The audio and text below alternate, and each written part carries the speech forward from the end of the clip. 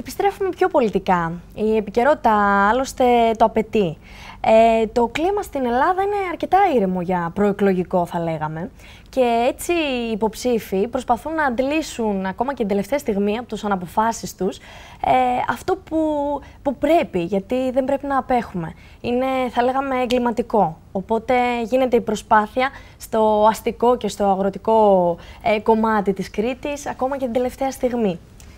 Τα μεγάλα θέματα του περασμένου 15ήμερου, όπως είναι το δικαστικό, η υπόθεση Νοβάρτης, ο Πετσίτης, οι 7 ημέρες εργασίας, τα κότερα και τα κρυφά προγράμματα έχουν εξαντληθεί σε δηλώσεις και διαψεύσεις. Και αυτό που παρατηρούμε τώρα είναι μια έντονη στάση του κ. Τσίπρα και μια ήρεμη παράθεση θέσεων του κ. Μητσοτάκη.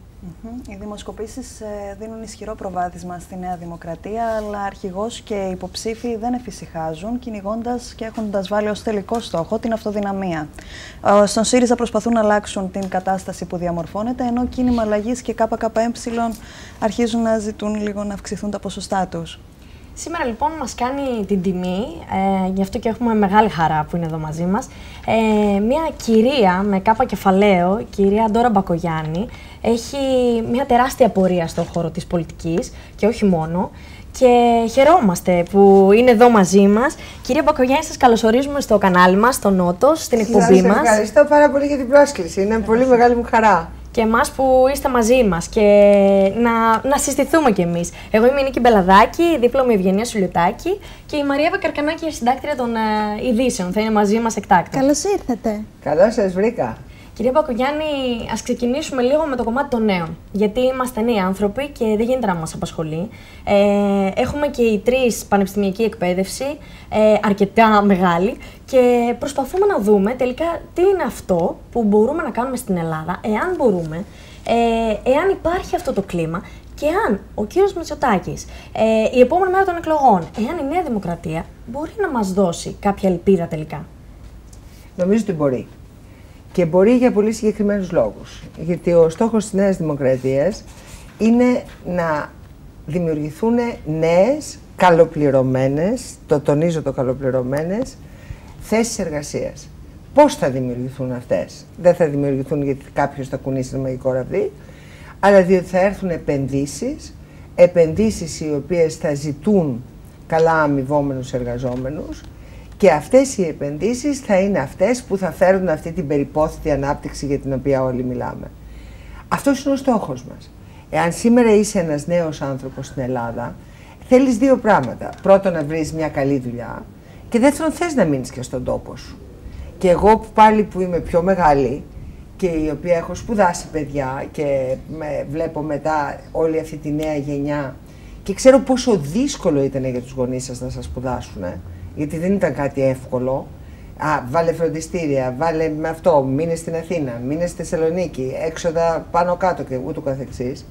Ε, δεν θέλουν τώρα να έχεις σπουδάσει ένα παιδί, να το έχεις φτάσει εκεί και να σου πει αύριο το πρωί πέρα των ματιών μου και φεύγω και είμαι στο Λονδίνο. Και είναι πάρα πολλά τα παιδιά που έχουν φύγει στη δικιά σας ηλικία. Άρα ο στόχος είναι πώς θα κρατήσουμε αυτά τα παιδιά εδώ στην Ελλάδα και πώς θα τους δοθεί όμως και η δυνατότητα πραγματικής εξέλιξης. Γιατί δεν θέλετε να μείνετε στάσιμοι. Εσείς σήμερα κάνετε τους δημοσιογράφους, αύριο θέλετε να πάτε σε ένα μεγαλύτερο κανάλι, μετά θέλετε να γίνετε διευθυντές, μετά θέλετε να γίνετε αρχισυντάκτριες, έτσι δεν είναι, ε, αρχισυντάκτριες, διευθυντές και ούτω καθεξής. Αυτός είναι ο στόχος σας.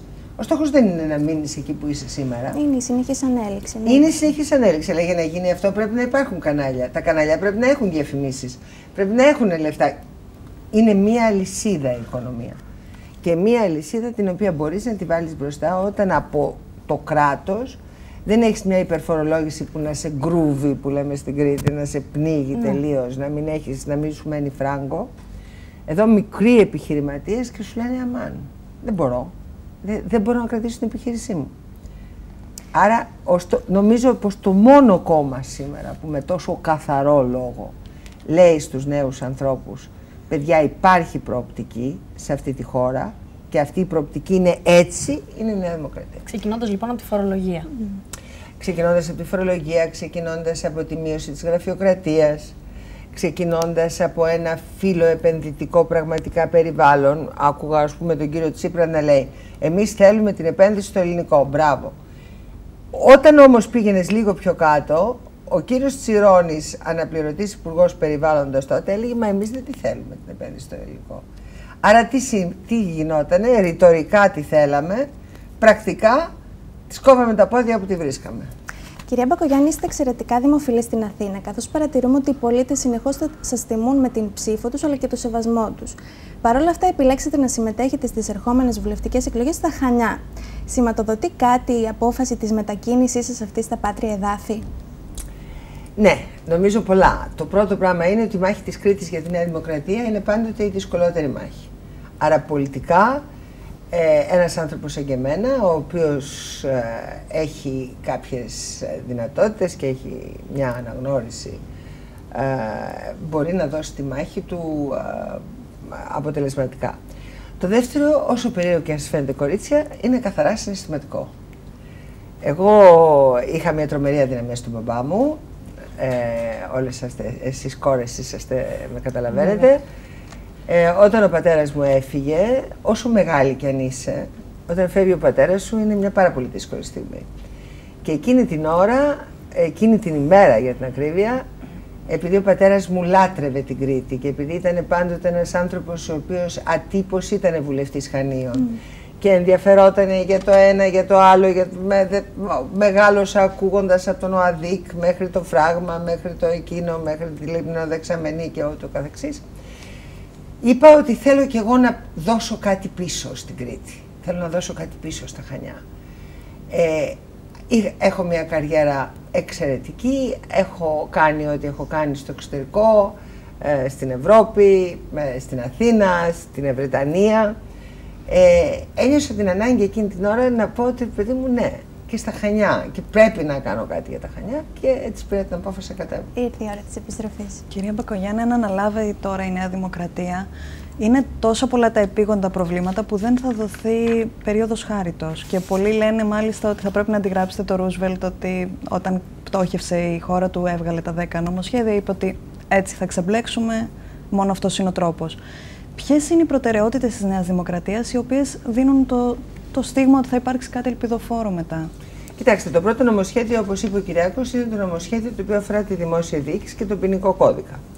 Δηλαδή, ε, ορισμένες απλοποιήσεις στη δημόσια διοίκηση αναγκαίες για τις επενδύσεις. Το δεύτερο, ο ποινικός κώδικας, ο οποίος πρέπει να αλλάξει πάρα αυτά, διότι με τις αλλαγές τις τελευταίες που κάνανε όλοι οι βαρυπινίτες, και όταν μιλάω βαρυπινίτες, μιλάω οι σοβίτες, ε, εγκληματίες, οργανωμένο έγκλημα, ε, ναρκωτικά, παιδεραστίες, τέλος πάντων ό,τι μπορείτε να φανταστείτε, σύν τη 17 Νοέμβρη, αποφυλακίζονται με 17 χρόνια φυλακή και βγαίνουν έξω. Πράγμα το οποίο η Δημοκρατία δεν το δεχτεί ποτέ. Τρίτον, η κατάργηση του ασύλου.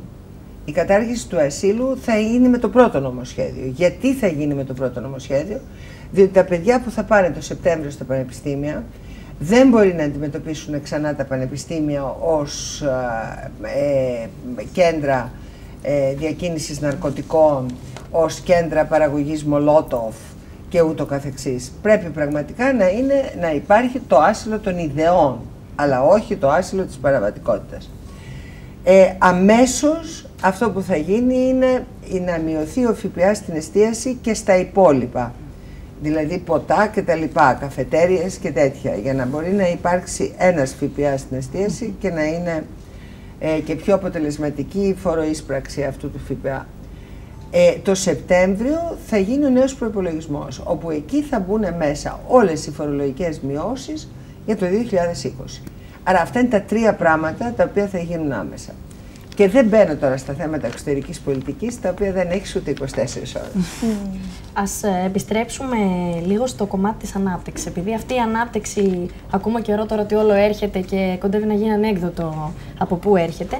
Ε, ένας ξένος επενδυτής και ένας Έλληνας επενδυτής που θα έρθει να σας ρωτήσει την επόμενη μέρα, εσείς ως Νέα Δημοκρατία, ε, ως ηγέτης, ο κύριος Μητσοτάκης, ε, ποια είναι η άμεση λύση, ποια είναι το πρω... ποιο είναι το πρώτο βήμα που πρέπει να γίνει και για τη γραφειοκρατία αυτή που ήδη αναφέραμε ότι υπάρχει και θα πρέπει να εξαλειφθεί, ε, αλλά γενικότερα τα βασικότερα βήματα που θα πρέπει να γίνουν και μπορείτε να μας τα παριθμίσετε αυτή τη στιγμή, όπως μας ανοίξατε το φάκελο των μέτρων που θα γίνουν. Κοιτάξτε, τα βασικότερα με, ε, βήματα είναι πολύ συγκεκριμένα. Καταρχήν είναι οι υποδομές.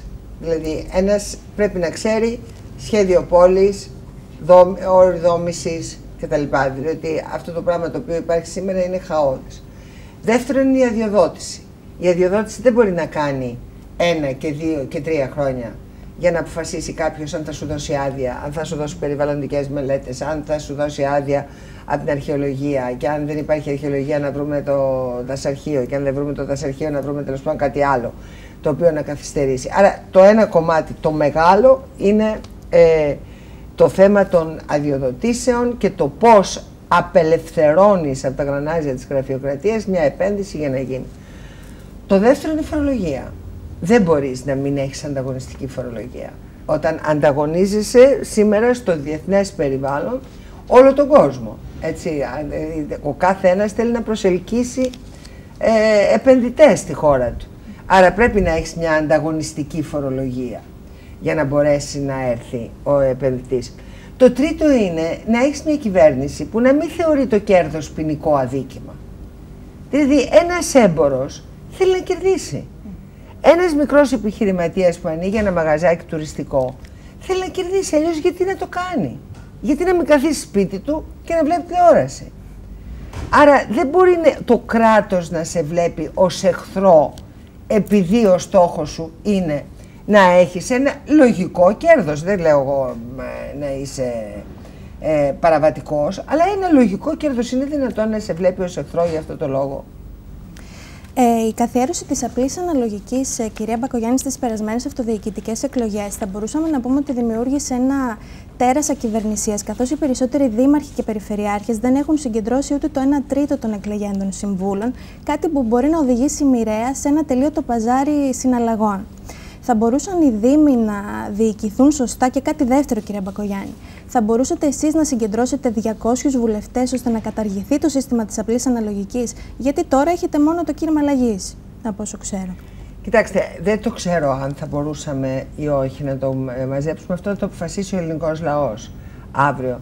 Αλλά αυτό το οποίο σίγουρα ξέρω είναι ότι όλα αυτά τα πράγματα που λέγανε οι διάφοροι για τα καλά της απλής αναλογικής διαψεύστηκαν με τις δημοτικές εκλογές, όπως πολύ σωστά λέτε. Διότι φάνηκε ότι αύριο το πρωί τι θέλει ο Έλληνας από τον δήμαρχό του, να είναι αποτελεσματικός. Ρε παιδάκι μου, εγώ δεν θέλω να μου κάνεις πυραμίδες του Φαραώ, κύριε Δήμαρχε.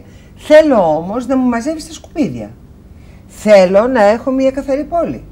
Θέλω να μου κάνεις τα πεζοδρόμια. Να μην υπάρχουν λακκούβες. Θέλω να μην τρώω το κεφάλι μου ή το κεφάλι μου ή το αμαξάκι του παιδιού μου ή το αυτοκίνητό μου στις λακκούβες. Απλά πράγματα. Ο δήμαρχος δεν πρέπει να κάνει τα πάντα όλα.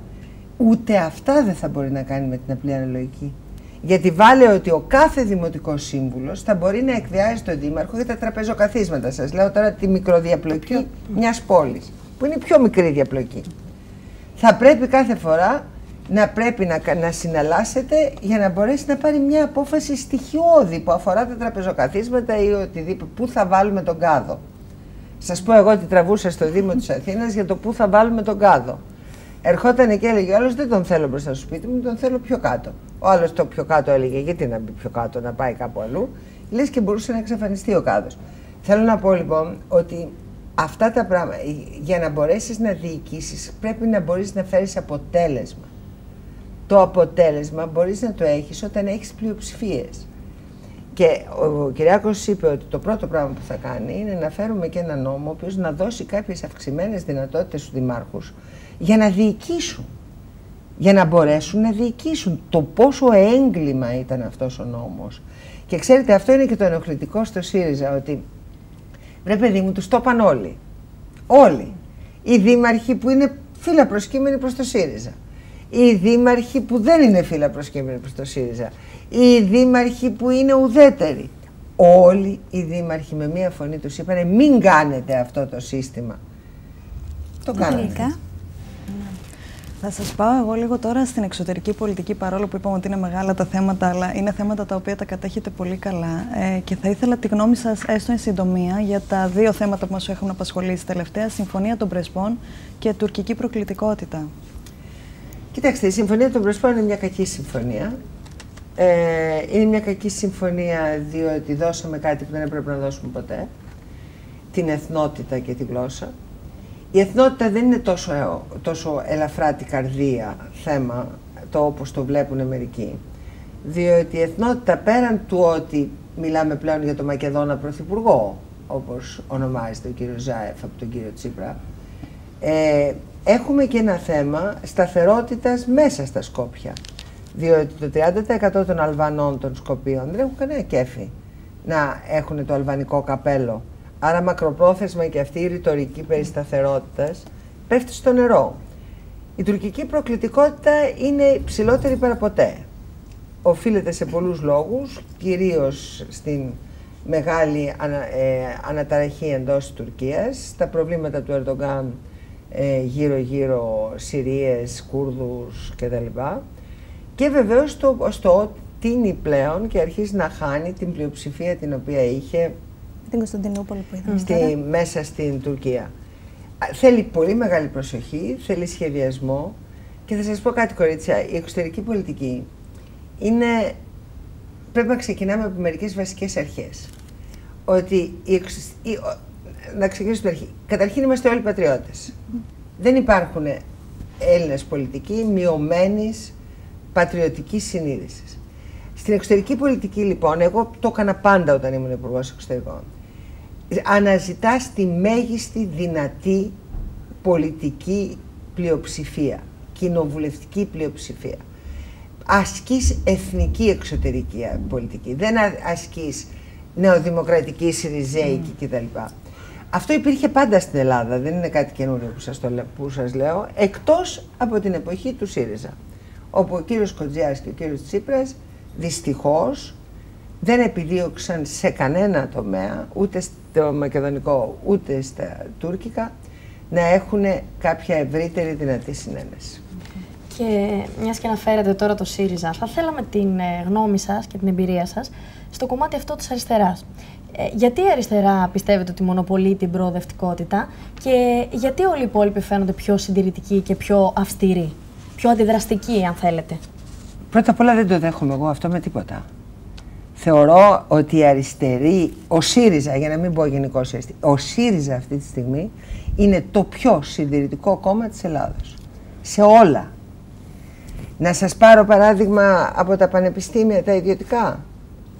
Δεν υπάρχει χώρα στον κόσμο, μέχρι και στη Βόρεια Κορέα, που να μην υπάρχουν ιδιωτικά πανεπιστήμια.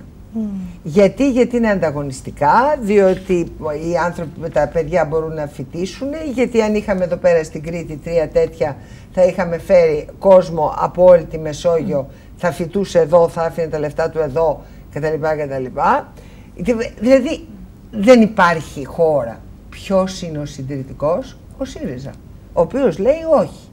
Σε μια λογική που είναι τελείως ξεπερασμένη. Το άσυλο. Δεν υπάρχει χώρα στον κόσμο που να υπάρχει άσυλο παραβατικότητας. Ποιος είναι συντηρητικός, ο ΣΥΡΙΖΑ. Η πραγματικότητα στη, στην, οικονομική, στην οικονομική κατάσταση, έτσι, δηλαδή στην άσκηση της οικονομικής πολιτικής. Μα δεν υπάρχει καμία, κανένας ο οποίος να μπορεί να σκεφτεί ότι τη σήμερα ημέρα μπορεί με αυτή τη φορολογία να δημιουργήσεις μια κεντρική ε, οικονομία και να κατευθύνεις τα επιδόματα όπου εσύ θέλεις παραμονές εκλογών, ε, αυτό είναι το κατεξοχήν παλαιομοδίτικο πράγμα. Δηλαδή εμείς που κατηγορούμαστε ως παλαιό πολιτικό σύστημα και είμαστε παλαιά κόμματα, κάναμε τέτοια πράγματα το 75, το 80, πάθαμε, μάθαμε, αλλάξαμε. Φτάσαμε λοιπόν σήμερα στη μεταφολίτευση τα μεγάλα κόμματα να έχουν συμφωνήσει μεταξύ τους με ορισμένες βασικές αρχές δημοκρατίας. Ποιος δεν τα τήρησε; Ο ΣΥΡΙΖΑ. Άρα για μένα ό,τι πιο συντηρητικό σήμερα υπάρχει είναι ο ΣΥΡΙΖΑ. Απλώς είχε κολληθεί η ταμπέλα ο ναι. προοδευτικός και ο συντηρητικός. ποτέ δεν το δέχτηκα, αλλά τώρα, τώρα ακόμα πιο πολύ. Δηλαδή οι άνθρωποι είναι κολλημένοι. Ο κολλημένος άνθρωπος είναι ε, ο, ο μη προοδευτικός. Αυτός που κολλάει σε ιδέες του χθες, τη δεκαετία του 80, δεν είχατε γεννηθεί εσείς κορίτσια. δεν είχατε γεννηθεί. Και ακούω την ίδια ε, επιχειρηματολογία. Εσείς οι νεοφιλελεύθεροι, εσείς ε, που θέλετε να πιείτε το αίμα του λαού. Ε, τα άκουγα το 80 και τα ξανακούω σήμερα. Κυρία Μπακογιάννη, ένα από τα σημαντικότερα προβλήματα της χώρας μας είναι το ασφαλιστικό και μία από τις αιτίες αυτού το δημογραφικό. Υπάρχουν κάποια σχέδια για τη στήριξη των οικογενειών; Χωρίς να στηρίξουμε τις οικογένειες, το δημογραφικό δεν μπορεί να απαντηθεί. Η μόνη επιτυχημένη πολιτική που υπήρξε μέχρι σήμερα στην Ευρώπη, γιατί όλη η Ευρώπη το αντιμετωπίζει, είναι η της Γαλλίας. Οι Γάλλοι καταφέρανε μακροπρόθεσμα να γυρίσουν το παιχνίδι και σήμερα στη Γαλλία, εάν δεν έχεις τρία παιδιά, σε κοιτάζουν με ήκτο άσε κορίτσια της ηλικίας σας λίγο μεγαλύτερες από εσάς, ε, έχουν τρία παιδιά και το θεωρούν αυτονόητο ότι έχουν τρία παιδιά. Τώρα, τι πρέπει να γίνει; Δεν μπορεί μία οικογένεια να στηρίξει πρώτο, πολλές φορές ούτε το πρώτο, πρώτο, δεύτερο παιδί χωρίς βασικές υποδομές. Άρα, ο Κυριάκος Μητσοτάκης έχει δεσμευτεί πρώτον ένα, ε, μία θέση παιδικού σταθμού για όλα τα παιδιά για όλα τα παιδιά. Γιατί μέχρι τώρα εντάξει έχουμε τις γιαγιάδες, κάνουν οι γιαγιάδες ένα μεγάλο κομμάτι της κοινωνικής πολιτικής, αλλά δεν είναι όλοι που έχουν γιαγιάδες στα σπίτια ή γιαγιάδες να μένουν κοντά. Άρα, μία θέση παιδικού σταθμού για όλα τα παιδιά. Δεύτερον, κάθε παιδί που γεννιέται 2.000 ευρώ. Θα μου πεις, θα σωθεί με 2.000 ευρώ; Ναι, γιατί τα έξοδα του πρώτου, των πρώτων δύο χρόνων θα αντιμετωπιστούν με τα 2.000 ευρώ. Και είναι μεγάλο το έξοδο όταν έρχεται ένα παιδί. Mm. Δεν είναι αστείο. Εμείς καμιά φορά νομίζουμε ότι επειδή είναι τόσο δά και είναι 3,5 κιλά, mm. ότι δεν κοστίζει. Κοστίζει mm. λεπτά σε μια οικογένεια, σε ένα ζευγάρι που έχει έναν, το πολύ πολύ δυο μισθούς για να μπορέσει να το ζήσει. Άρα χρειάζεται στήριξη η οικογένεια στήριξη τα επιδόματα των πολυτέκνων, στήριξη. Μετά χρειάζεται κάτι το οποίο γνώρισα μια καταπληκτική κοπέλα στα Χανιά, η οποία είναι υπεύθυνη για τα ΑΜΕΑ, για τα παιδιά με ειδικές ανάγκες. Έτσι τα λέγαμε, τα παιδιά με αναπηρία. Ε, και έτσι με πολύ πάθος μου λέγε για μια παιδική χαρά για τα παιδιά αυτά. Εγώ είχα κάνει τέτοιες παιδικές χαρές στην, ως δήμαρχος της Αθήνας. Και έτσι λέω, δεν ξέρω τι. Δεν έχω υποσχεθεί τίποτα σε αυτή την προεκλογική περίοδο.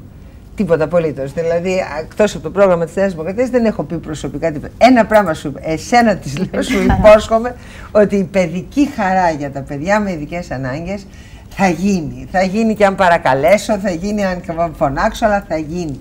Γιατί είναι τόσο σημαντικό. Είναι τόσο σημαντικό για ανθρώπους που, ξέρεις, εμείς δόξα τω Θεώ έχουμε την υγειά μας αλλά και τα παιδιά μας. Αλλά αν έχεις ένα παιδί, το, το πώς γυαλίζει το μάτι του όταν μπορεί να, να παίξει σε μια παιδική χαρά τέτοια, είναι το μεγαλύτερο δώρο που μπορεί κάποιος να έχει. Η μεγαλύτερη επιβράβευση. Κυρία Πακογιάννη, πάνω σε αυτά, ε, όλοι μιλάνε στα προγράμματά τους όλα τα κόμματα για την κοινωνική συνοχή, για το κράτος πρόνοιας. Και τι έχει να προτείνει η Νέα Δημοκρατία σε μια περίοδο που οι διάφορες λάθος πολιτικές έχουν φτωχοποιήσει μεγάλο τμήμα του πληθυσμού; Κοίταξε, η Νέα Δημοκρατία πιστεύει στο ελάχιστο εγγυημένο εισόδημα, που είναι αυτό το οποίο πρέπει να έχει κάθε άνθρωπος για να έχει μια αξιοπρεπή διαβίωση. Και γι' αυτό θα βάλει και περισσότερα χρήματα. Πιστεύει βεβαίως στην ανάγκη στήριξης με επιδόματα των ανθρώπων που έχουν πραγματική ανάγκη. Μιλούσα πριν για τα παιδιά με αναπηρία, είχαμε αυτή την περίφημη ε, ε, υπόθεση που τσακωνόμασταν ε, για τον τρόπο με τον οποίο συμπεριφέρθηκε κάποιος ε, πολιτικός σε έναν άνθρωπο με αναπηρία. Ε, υπάρχουν άνθρωποι που χρειάζονται επιδόματα και αυτοί οι άνθρωποι είναι πολλοί και αυτοί οι άνθρωποι χρειάζονται στήριξη και πρέπει να τους στηρίξουμε. Από εκεί και πέρα, τα επιδόματα δεν πρέπει να λειτουργούν ανασταλτικά στη δυνατότητα να δουλέψεις. Άρα η επιδότηση της εργασίας είναι για μένα πάρα πολύ σημαντική. Δηλαδή προτιμώ ένα νέο άνθρωπο να δώσω επιδότηση εργασίας, δηλαδή να επιδοτήσω τη θέση εργασίας του να φανεί πόσο καλός είναι, να φανεί ότι δουλεύει και ότι είναι αναγκαίος αύριο στην επιχείρηση και να βοηθήσω και τον επιχειρηματία για να προσλάβει ένα νέο άνθρωπο από το να δώσω ένα επίδομα σε ένα νέο άνθρωπο για να κάθεται στο σπίτι του. Αυτό είναι προσωπική μου γνώμη δηλαδή και τη λέω ευθέως. Να σας πάμε κάπου αλλού και πιο ανάλαφρα, περίπου. Είμαστε τέσσερις γυναίκες εδώ πέρα. Δεν θα μπορούσαμε λοιπόν να μην έχουμε την εξής απορία. Ε, είναι κοινή ομολογία ότι είστε μία από τις πιο δυναμικές παρουσίες στην Ελλάδα, ε, ασχέτως γυναικών ανδρών. Ε, κατάγεστε από μία πολιτική οικογένεια. Υπάρχουν όμως αυτά τα πολύ υψηλά αξιώματα, τα οποία ε, ίσως κατατάσσονται στο φαινόμενο της γέλνης οροφής, θα λέγαμε, για τις ε, γυναίκες. Ε, το πιστεύετε αυτό; Και πόσο δύσκολο ή εύκολο ήταν για εσάς; Δεν το πίστευα και έκανα λάθος. Επειδή εγώ μεγάλωσα σε μια οικογένεια που οι γυναίκες ήταν πραγματικά ίσες. Ο πατέρας μου δηλαδή ήταν ένας άνθρωπος ο οποίος δεν είχε, δηλαδή ήταν αυτονόητο ότι ήμασταν ίσες. Παρά το ότι ξεκίνησα από την Ευρετανία όπου είχα ακούσει ένα περίφημο παππού που μου λέγε Τσούπρα εγώ δεν ψηφίζω. Ε, παρά το ότι πέρασα διάφορες φάσεις στις οποίες θυμάμαι ήμουνα υπουργός, αλλά επειδή ήμουνα πολύ νέα ε, τσακωνόμουν για το μακεδονικό ε, λέει ένας Εγγλέζος λόρδος εκεί αντιπαθέστατος ε, σε, που τον ζήτησα το λόγο λέει The young lady from Greece wants the floor και η Young Lady ήταν υπουργός. Μου χρειάστηκε ένα πεντάλεπτο να πω ότι η Young Lady είναι υπουργός. Τέλος πάντων.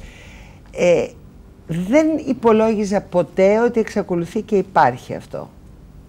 Το κατάλαβα στην μάχη μου την εσωκομματική.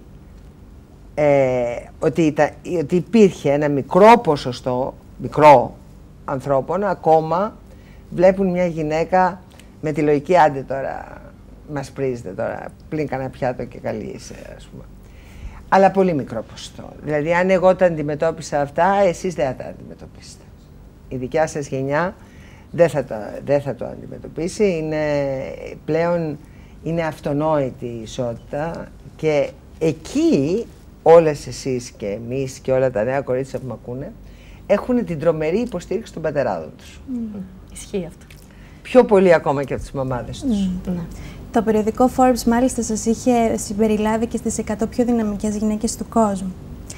Ε, είπατε πριν τα ιδιωτικά, αναφερθήκατε στα ιδιωτικά πανεπιστήμια και όσον αφορά αυτό, το θέμα ίδρυσης των ιδιωτικών πανεπιστημίων έχει κλείσει οριστικά; Όχι. Θα υπάρξει οπωσδήποτε κάποια στιγμή μια συνταγματική ρύθμιση και θα ανοίξουν. Απλώς θα έχουν καθυστερήσει, θα έχουν κοστίσει 1,5% του ΑΕΠ, τζάμπα και βερεσέ, διότι κάποιοι είναι κολλημένοι. Αλλά προς στιγμή το Δημόσιο Πανεπιστήμιο είναι το μέλημά μας της Νέας Δημοκρατίας. Ένα πρότυπο σχολείο σε κάθε νομό. Τώρα γιατί το λέω το πρότυπο σχολείο. Διότι υπάρχουν προνομιούχα παιδιά. Ταλέντα ρε παιδί μου. Δεν είναι όλα τα παιδιά το ίδιο. Υπάρχουν, εγώ έχω 7 εγγόνια. Υπάρχουν ταλέντα. Παιδιά που τα βλέπεις και λες ρε παιδί μου αυτό το παιδί πετάει, βγάζεις σπίθες στο μάτι είναι αστέρι. Αυτό το αστέρι, αν δεν έχει λεφτά ο μπαμπάς του, θα ακολουθήσει την πεπατημένη. Και μπορεί αυτό το αστέρι να μην αναδειχθεί ποτέ. Έρχεται λοιπόν η Νέα Δημοκρατία και λέει όχι, εγώ θα κάνω ένα πρότυπο σχολείο και θα φέρω όλα τα παιδιά που είναι αστέρια, από τις μοίρες, από το, το πιο αρκαλοχώρι, από οπουδήποτε και θα τους δώσω τη δυνατότητα να διαπρέψουν αυτό που ήταν κάποτε το Βαρβάκιο. Ναι. Και βλέπετε ότι υπήρξε μια γενιά στην οποία δεν ήταν τίτλος τιμής να είσαι απόφυτος του Κολεγίου Αθηνών, που πλήρωνε ο μπαμπάς σου και η μαμά σου, αλλά ήταν τίτλος τιμής να είσαι απόφυτος του Βαρβακίου. Διότι στο Βαρβάκιο κατεβαίνανε τα μυαλά και δεν πλήρωνε φράγκο ο μπαμπάς και η μαμά. Άρα δεν είναι υποχρέωση δική μας ως κοινωνία να προσπαθήσουμε σε κάθε πόλη να έχουμε κάποια τέτοια σχολεία για να μπορέσουν κάποια παιδιά να διακριθούν περισσότερα τα οποία έχουν αυτά τα ταλέντα. Και μετά να μην φεύγουν βέβαια. Να μην φεύγουν τα μυαλά Να μας. μην φεύγουν, ναι. Είναι Αλλά και αυτό αυτό. δια της πυθούς. Να ρωτήσω εγώ τώρα κάτι για τα δικά σας τα ταλέντα στην οικογένεια. Ε, έχετε έναν γιο δήμαρχο, πιθανό αδερφό πρωθυπουργό και θέλω να ρωτήσω πέρα από την περηφάνεια που νιώθετε, αν έχετε και την ανησυχία και την αγωνία για το αν θα πετύχουν το έργο τους και πώς θα τα πάνε. Εννοείται. Καταρχήν, σε σχέση με το γιο μου, κλασική Ελληνίδα μάνα. Μην, δεν συζητάμε τίποτα άλλο. Ε, όλοι οι γη που με ακούνε σήμερα και έχουν μαμάδες ξέρουν πολύ καλά τι τραβάνε. Ε, τα ίδια τραβάει και ο δικός μου. Ε, και η κόρη μου το ίδιο άλλωστε. Ε, από εκεί και πέρα, κοιτάξτε, έχω πάρα πολύ μεγάλη εμπιστοσύνη και στους δύο. Τους ξέρω καλά. Ε, θα μου πείτε, τι θα έλεγες τώρα εσύ; Σιγά τα λάχανα, σιγά την αντικειμενική ας πούμε κουβέντα. Παρά τα αυτά τους έχω πολύ μεγάλη εμπιστοσύνη. Ε, ο Κυριάκος είναι ένας πολύ σκληρός δουλευταράς. Είναι ένας άνθρωπος ο οποίος απεχθάνεται το λαϊκισμό. Είναι ένας άνθρωπος ο οποίος κατάφερε να γυρίσει όλη την Ελλάδα. Τον υποτίμησε πολύ ο κύριος Τσίπρας. Ε, λέγοντας του όλα αυτά που του λέγε και τα λοιπά και εντάξει και σιγά μην χάσω από σένα και όλα αυτά. Ε, τον υποτίμησε. Λάθος είναι να τον υποτιμάσει τον Κυριάκο γιατί ο Κυριάκος γύρισε όλη την Ελλάδα τρεις φορές. Μίλησε με τον κόσμο, εξήγησε το πρόγραμμά του και κάποια στιγμή έρχονται οι εκλογές και έχει 9,5 μονάδες διαφορά. Ε, πιστεύω δε ότι θα είναι ακόμα καλύτερος πρωθυπουργός από αρχηγός αντιπολίτευσης. Διότι είναι ένας άνθρωπος που ξέρει να μετράει. Ο Κώστας έχει τελείως διαφορετική πορεία. Ο Κώστας είναι αυτοδιοικητικός, ο Κώστας είναι ένας άνθρωπος ο οποίος ξεκίνησε από το Καρπενήσι, πήρε το πρώτο βραβείο στην Κορέα για τη δουλειά που έκανε ως δήμαρχος Καρπενησίου, ε, πήγε στην περιφέρεια, δούλεψε την περιφέρεια και έχει τώρα το όνειρο της Αθήνας. Είμαι σίγουρη ότι θα δουλέψει ε, σκληρά. Τους εύχομαι και τον δύο καλή επιτυχία γιατί ο καθένας είναι σε δύσκολο μετερίζει. Ε, έχει πάρα πολύ μεγάλη σημασία αυτή η εμπιστοσύνη που σου δείχνει ο κόσμος. Γιατί ο Κώστας πήρε 65%. 65% είναι πολύ μεγάλη εμπιστοσύνη. Πρέπει να είναι μεγάλη ευθύνη του. Πολύ μεγάλη ευθύνη του. Και το ίδιο θα ισχύει και για όλους μας αύριο, έτσι. Όταν σε εμπιστεύεται ο λαός, σου μεταφέρει ευθύνη. Εκεί πρέπει να ανταποκριθείς. Κύριε Πακογιάννη, εμείς είμαστε σίγουροι ότι θα ανταποκριθείτε εσείς στη δική σας ευθύνη και θέλουμε να σας ευχηθούμε μέσα από την καρδιά μας καλή επιτυχία. Εγώ, κορίτσια, Καλή σας επιτυχία. ευχαριστώ και να αρχίσετε να κάνετε καμιά εκπομπή στα Χανιά, γιατί είμαστε πολύ ωραίοι κι εμείς. Το Σίγουρα. ξέρουμε και σας αγαπάμε και εσά και τα χανιά. Να είστε Και καλά. Ευχαριστούμε για το χρόνο Εγώ σας. ευχαριστώ πολύ. Καλή επιτυχία και καλή συνέχεια. Ευχαριστώ πάρα πολύ.